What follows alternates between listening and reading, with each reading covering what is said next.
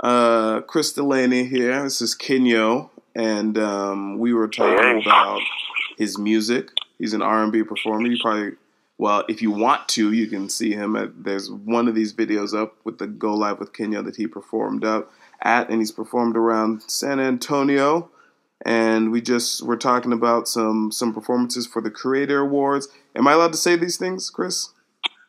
Yes, sir. You are. Okay, I want to ask you give me um, two things, just two. Make it short because two is such a short number.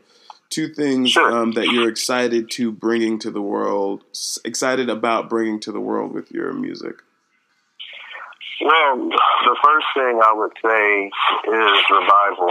I feel like uh, my music uh, it really is going to bring a revival as far as uh, healing in music. I feel that um, I can't really speak for other artists that are out there, but one thing I know is that I feel whatever it is that I write, whatever it is I perform, and um, I know that other people will feel it. Um, I know that's the main thing that a lot of uh, my fan base uh, says that they feel like it's something different and something new. So definitely a revival of what music really means, music with substance, music with meaning.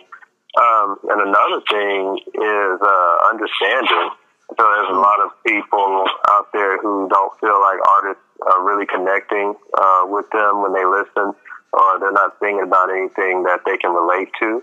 Um, but uh, everything that I've written, I've lived it, and it just feels good to know that um, I can build a fan base of people who uh, who understand the things I've gone through, and they know as an artist I can relate to the things that they're going through as well.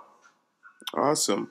Well, that was perfect. I'm gonna cut it right there. And oh yeah, uh, thank thanks for listening or whatever. No, I'm just joking.